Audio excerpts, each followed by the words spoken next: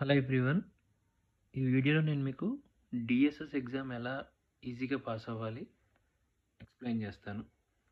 So మనకి మీ external exam పేపర్లోకి వచ్చేసరికి మీకు సిక్స్ చాప్టర్స్ ఉంటాయి నార్మల్గా సిలబస్లో సో కొన్ని కొన్ని యూనివర్సిటీ యూనివర్సిటీని బేస్ చేసుకొని ఉంటాయి. కొన్ని కొన్ని యూనివర్సిటీలో కొన్ని కొన్ని కాలేజెస్లో ఫైవ్ చాప్టర్స్ ఉంటాయి.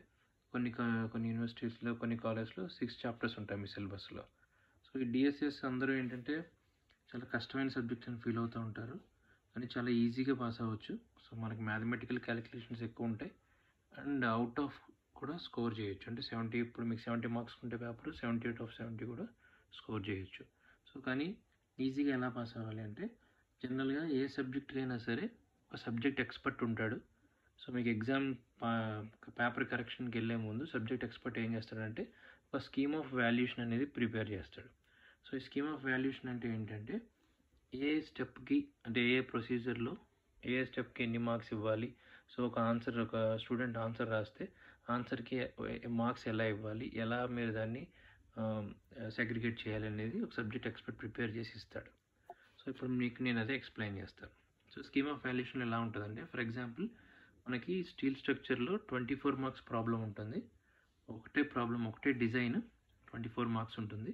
ఈ ట్వంటీ ఫోర్ మార్క్స్ని వాళ్ళు ఎలా సెగ్రిగేట్ చేస్తారంటే నేను సింపుల్ తీసుకున్నాను. అంటే వితౌట్ ఇంటర్మీడియట్ స్టిఫ్నర్స్ కానీ ఎండ్ స్టిఫ్నర్స్ కానీ లేకుండా ప్లేట్ కట్టని డిజైన్ చేయమని ఇస్తే దానికి మార్క్స్ ఎలా అసైన్ చేస్తారనేది చెప్తున్నాను. సో స్టార్టింగ్ ఏంటంటే shear force and bending moment మీరు క్యాలిక్యులేట్ చేస్తే సిక్స్ మార్క్స్ అసైన్ చేయమని ఇస్తారు. అంటే షేర్ ఫోర్స్ బెండింగ్ మూమెంట్ ఎందుకు సిక్స్ మార్క్స్ ఇస్తారంటే షేర్ ఫోర్స్ బెండింగ్ మూమెంట్ అనేది బేసిక్ అన్నమాట. మనం ఫస్ట్ ఇయర్ ఇంజనీరింగ్ మెకానిక్స్ నుంచి second year strength of materials నుంచి మనకి ప్రతి చోట shear force and bending moment నేర్చుకుంటూనే ఉంటాం. సో మీరు షేర్ ఫోర్స్ బెండింగ్ మూమెంట్ కనుక రాంగ్గా క్యాలిక్యులేట్ చేస్తే మీకు ఎంటైర్ డిజైన్ అంతా కూడా మొత్తం తప్పు అయిపోతుంది సో అందువల్ల మీకు షేర్ ఫోర్స్ బెండింగ్ అనేది బేసిక్ అనమాట సో ఈ basic shear force and bending moment కనుక మీరు ప్రాపర్గా క్యాలిక్యులేట్ చేయకపోతే మీకు డిజైన్ అంతా రాంగ్ అవుతుంది. And next shear force bending moment six marks ఇస్తారు. అంటే సిక్స్ మార్క్సే ఇవ్వాలని లేదు. బేసిక్గా నేను సబ్జెక్ట్ ఎక్స్పర్ట్గా వర్క్ చేసినప్పుడు నేను సిక్స్ మార్క్స్ ఇచ్చాను.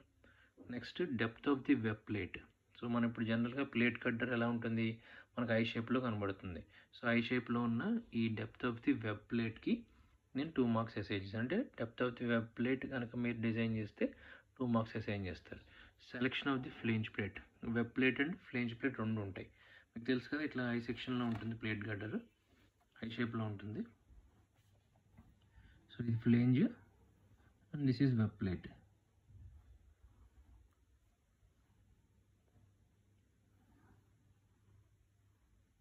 so ఈ టూ ఫ్లేంజెస్ ఇది వెబ్ ప్లేట్ అనమాట సో ఈ depth of the web find out చేసినందుకు మీకు టూ మార్క్స్ అసైన్ చేస్తారు. And selection of flange plate find out చేసినందుకు ఈ two flanges two marks assign చేస్తారు. అండ్ నెక్స్ట్ ఇవన్నీ చెక్ ఇవన్నీ అయిపోయిన తర్వాత చెక్స్ ఉంటాయి మనకి. So check for moment capacity of the girder so ఈ గడర్ యొక్క మూమెంట్ కెపాసిటీ క్యాలిక్యులేట్ చేస్తాం. దానికి త్రీ మార్క్స్ అసైన్ చేస్తాం. And next check for shear resistance of the web దానికి త్రీ మార్క్స్ అసైన్ చేస్తాం. Next check for end bearing చేసినందుకు two marks assign చేస్తాం.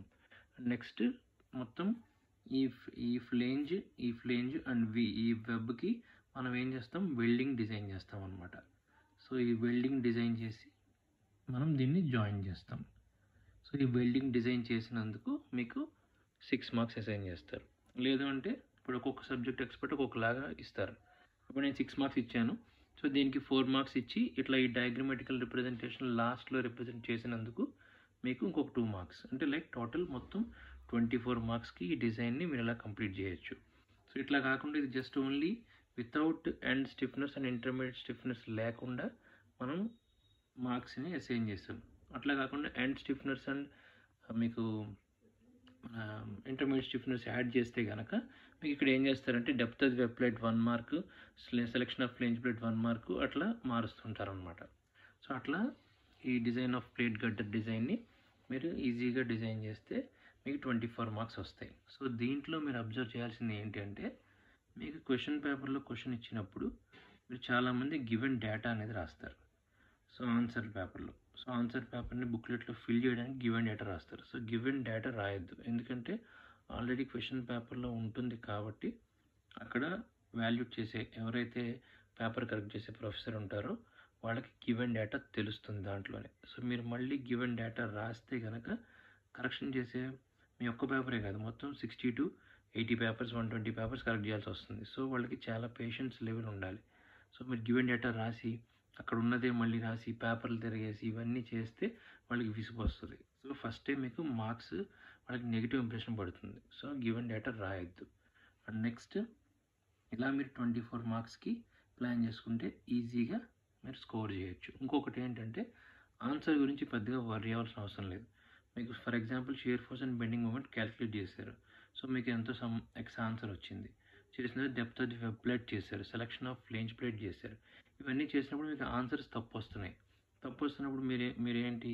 జనరల్గా ఏమవుతుందంటే ఇది ప్రాక్టికల్ సబ్జెక్ట్ కాబట్టి ఆన్సర్ తప్పు వచ్చినా కూడా మనకి జనరల్గా ప్రాక్టికల్ సబ్జెక్టులు ఏంటి అంటే ఇప్పుడు for example depth of web plate design చేశారు. సంథింగ్ ఎంతో వచ్చింది? ఒక టెన్ ట్వంటీ ఎంతో వచ్చింది? సో ఆ డెప్త్ ఆఫ్ వెబ్ ప్లేట్ ఒక థౌజండ్ ఎంఎం mm వచ్చింది అనుకోండి ఫర్ ఎగ్జాంపుల్ లేకపోతే ఒక ఫైవ్ హండ్రెడ్ ఎంఎం వచ్చింది. వస్తే మీరు ఏం చేస్తారు? మీకు తప్పని మీకు తప్పని అనిపించింది అనుకో మీరేం వరి అవ్వాల్సిన అవసరం లేదు. ఎందుకంటే ప్రాక్టికల్ సబ్జెక్ట్లో ఆన్సర్స్ తప్పు వచ్చినా అక్కడ సెక్షన్ ఫెయిల్ అవుతుందని మనం చెప్తాం. అంతేగాని సో ఆన్సర్ తప్పు వస్తే ఏదో మన మీరు ఫస్ట్ క్లాస్ సెకండ్ క్లాస్ చదవట్లేదు. ఈవెన్ ఇంజనీరింగ్ స్టూడెంట్ దాని దట్ సివిల్ ఇంజనీరింగ్ స్టూడెంట్స్కి ఏంటంటే practical knowledge is very important అనమాట సో అందువల్ల ఆన్సర్స్కి పెద్ద ఎక్కువ వాల్యూషన్ ఉండదు. హాఫ్ మార్క్ అట్లా ఉంటుంది అంతే okay? So next twenty four marks వస్తే మీకు పాస్ మార్క్ రాదు కాబట్టి ట్వంటీ ఫోర్ మార్క్స్ ఈజీగా గెయిన్ చేస్తారు. నెక్స్ట్ ఇంకొకటి ఏం చేయొచ్చు అంటే మీకు థర్డ్ చాప్టర్లో డిజైన్ ఆఫ్ కంప్రెషన్ మెంబర్స్ అని ఉంటుంది. I mean third chapter fourth చాప్టర్లో ఉంటుంది. కంప్రెషన్ మెంబర్స్ ఉంటుంది. ఈ కంప్రెషన్ మెంబర్స్లో మీకు రెండు డిజైన్స్ ఉంటాయి. ఒకటి లేసింగ్స్ రెండు బ్యాటన్స్ సో మనకి మీకు పేపర్లో ఎలా ఉంటుంది? ఫస్ట్ చాప్టర్ సిక్స్లో మీకు ట్వంటీ ఫోర్ మార్క్స్ ప్రాబ్లం అయిపోయిన తర్వాత నెక్స్ట్ ఏం చేస్తాడు? మీకు చాప్టర్ వన్లో టెన్షన్ మెంబర్స్ ఉంటాయి. నెక్స్ట్ చాప్టర్ టూలో వేరే డిజైన్స్ డిజైన్ ఆఫ్ బీమ్స్ ఉంటాయి. అండ్ చాప్టర్ త్రీలో కంప్రెషన్ మెంబర్స్ ఉంటాయి. సో దీంట్లో లేసింగ్స్ అండ్ బ్యాటన్స్ రెండు డిజైన్స్ ఉంటాయి. ఈ రెండు డిజైన్స్లో ఫర్ ఎగ్జాంపుల్ మీకు ఎలా ఉంటుంది? రెండు fourteen each question fourteen marks అనుకోండి. లేకపోతే ఈచ్ క్వశ్చన్ ట్వెల్వ్ మార్క్స్ అనుకోండి. సో ఖచ్చితంగా ఇందులో ఒక డిజైన్ ఇందులో ఒక డిజైన్ ఇవ్వాల్సిందే. ఆప్షన్ లేదు. ఎందుకంటే వాళ్ళు పేపర్ సెట్ చేసేటప్పుడు అట్లానే సెట్ చేస్తారు. సో మీకు లేసింగ్స్ నుంచి ఒక డిజైన్ బ్యాటన్స్ నుంచి ఒక డిజైన్ రావాలి. సో ఖచ్చితంగా మీరు ఈ రెండు నేర్చుకుంటే మీకు ఫోర్టీన్ మార్క్స్ వచ్చేస్తాయి. So fourteen marks plus twenty four. Total thirty eight marks. So thirty eight marks కనుక మీరు అటెంప్ట్ చేయగలిగితే కాన్ఫిడెంట్గా ఈజీగా మీకు ఈజీగా పాస్ అయిపోవచ్చు. ఆన్సర్స్ కొంచెం అటు ఇటు అయినా సరే మీకు at least thirty to thirty five marks వస్తాయి. సో ఇది మీరు పాస్ అవ్వాలి అనుకుంటేనే లేదు మీకు seventy out of seventy score చేయాలి అనుకుంటే కనుక ఎవ్రీ ఫస్ట్ సిలబస్ తీసుకోండి. సిలబస్ తీసుకొని ఎవ్రీ చాప్టర్ నుంచి ఒక్కొక్క డిజైన్ ప్రాక్టీస్ చేయండి. సో కోడ్ బుక్లో ఉన్న థిరీ ఎవరి రాయొద్దు. థిరీ కోడ్ బుక్లో ఉన్న థిరీ రాస్తే మీకు ఎవరికి మార్క్స్ రావు. చాలామంది కోడ్ బుక్లోనే థిరీ రాసేస్తే పేపర్స్ ఫిల్ అయితే మార్క్స్ వేస్తారు అనుకోవద్దు కానీ అట్లా డిజైన్ డిజైన్ సబ్జెక్ట్లో అవేమీ వర్కౌట్ అవ్వవు. అండ్ ఈ లేసింగ్స్ అండ్ బ్యాటన్స్ కనుక మీరు డిజైన్ ప్రొసీజర్స్ ఉంటాయి కోడ్ బుక్లో మనం యూస్ చేసే code book IS eight hundred two thousand seven IS eight hundred two thousand seven code బుక్లో మీకు page number forty eight forty nine fifty fifty వన్లో ఉంటుంది lacings and battens design procedure ఉంటుంది. నేను ఏం చేస్తానంటే ఈ ప్లేట్ గడ్డర్ ఈ ప్లేట్ గడ్డర్ డిజైన్ నేను ఆల్రెడీ నా యూట్యూబ్ ఛానల్లో పెట్టాను. సో ఆ లింక్ మీకు డిస్క్రిప్షన్లో ప్రొవైడ్ చేస్తాను. సేమ్ అట్లానే ఈ లేసింగ్స్ అండ్ బ్యాటన్స్ కూడా మీకు ప్రొవైడ్ చేస్తాను. సో ఇట్లా మీరు డిజైన్ ఆఫ్ స్టీల్ స్ట్రక్చర్ ఎగ్జామ్ని ఈ త్రీ డిజైన్స్ కనుక నేర్చుకోగలిగితే ఈజీగా మీరు పాస్ అవుతారు. Okay? I hope you understood this మీకు ఈ వీడియో నచ్చినట్లయితే లైక్ చేయండి సబ్స్క్రైబ్ చేయండి నా ఛానల్ని సపోర్ట్ చేయండి. Thank you so much Thanks for watching.